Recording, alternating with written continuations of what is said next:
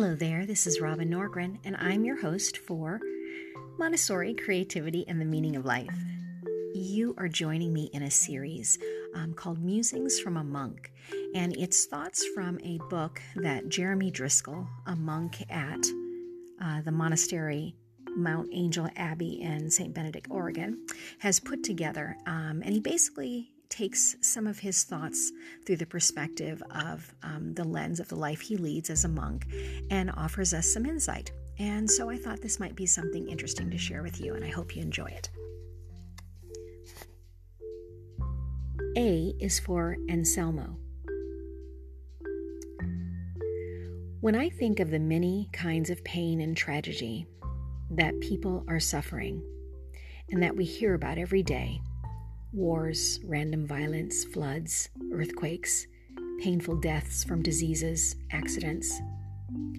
And when I think of lives interrupted and cut short, and then the pain for those who love them and are left behind, I am struck by how, comparatively speaking, such pain is not approached especially near to me. Even if it seems I feel rather deeply the pain in, in others that I hear about then parallel to this is the beauty that I see and hear about. Wonderful things and wonderful people in the world, day after day, glorious stories. Perhaps the view from my room here in Rome at the monastery of St. Anselmo is an emblem for, for all of this. For nearly 3,000 years, we know of people living on this same space of land. So much sorrow, so much death has seeped into the ground on which my monastery now stands, and yet so much beauty as well. And the ever renewing springtime, with its cleansing rains and its warming sun. Right now, in the evening twilight, I am looking out on houses where great happiness and great sorrow are unfolding. For the moment in my personal life, I am between the two. And that too is a position to be lived. I want to live it prayerfully, thoughtfully. That is, without knowing the details.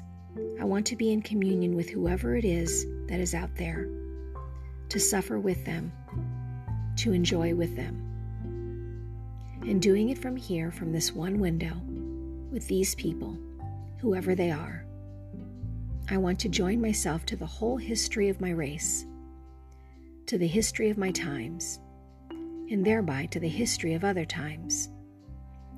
I want the life of Christ and the mind of Christ to be strong in me, so that my quietly being here, even apparently not especially involved, might in fact be a sort of port of entry for Christ into our spaces and our times.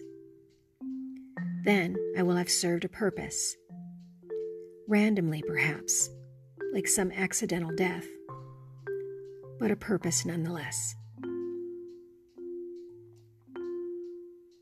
A is for ascent of the hill. My monastery is on a hill. That makes quite a difference. All of us who live on the hill have come up and down it many times. But every ascent up the hill recalls on a sliding scale between subconscious and conscious, the first time this upward climb was ever made. That first time was filled with a dizzying range of emotions. For a person comes to live on this hill in order to seek God, and is inevitably and all at once excited by the adventure, ready for the dedication, and afraid that his strength may not match the hope. To turn the corner at the bottom of the hill and start the ascent is to turn a corner in life. As you climb upward rather steeply and enter quickly into the tall bank of trees, a separation from a life left behind has quickly affected. The trees are splendid, beautiful, tall, they are like a word from God that whispers and waves a message over you. You are in a new place, they say, and life will be different here.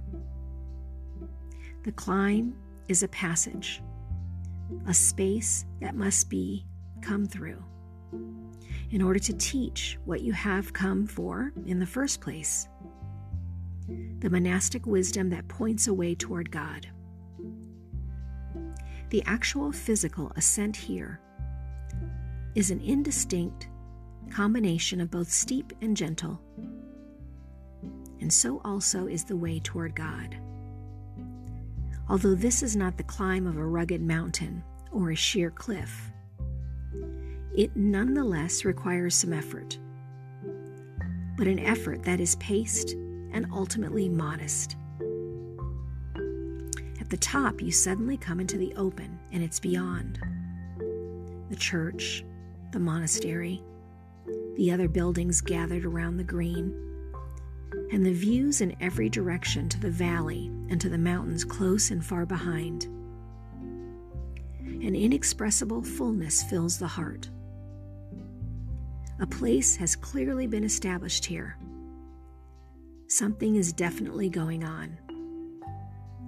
For the passage I have made, for my ascent, I am invited in. I am bid to share in it. I feel peace and I want to be a part.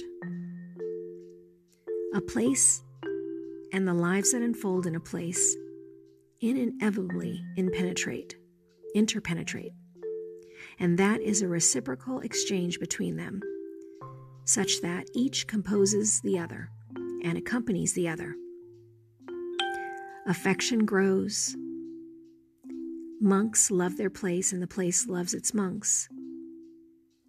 As the years of my searching for God in this place pass, I love the place more and more because progressively its features and details are gathered inside my story. This love stirs in me with every ascent or descent of the hill. If I go down the hill, I am on my way elsewhere, and I feel the difference as I descend. If my absence is to be a long one, the emotion of leaving what I love is more sharply borne. On returning from afar, however far, it is in the start of the ascent that I know I am returned home. In the short time it takes to mount upward to the top, all the complicated emotions of what it means to live in this place flash through me and resolve themselves in the climb. Well, I hope that you are enjoying this series. Make sure and share this with someone you think would be encouraged by it. And if you're interested in taking a poetry class with me, go ahead and check out my classes over on www.udemy.com.